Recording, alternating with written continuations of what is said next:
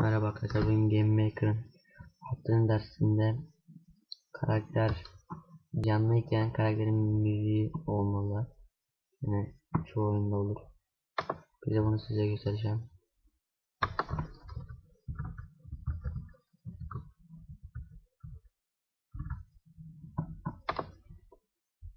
Save Sound'dan pardon. Loud Sound'dan müziğimizi seçiyoruz.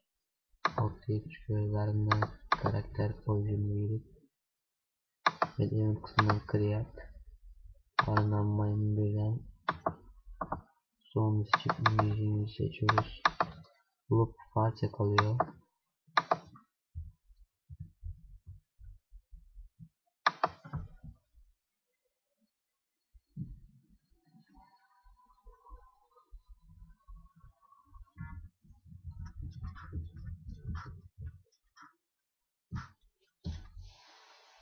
Gördüğünüz gibi yeniden başlıyor müzik.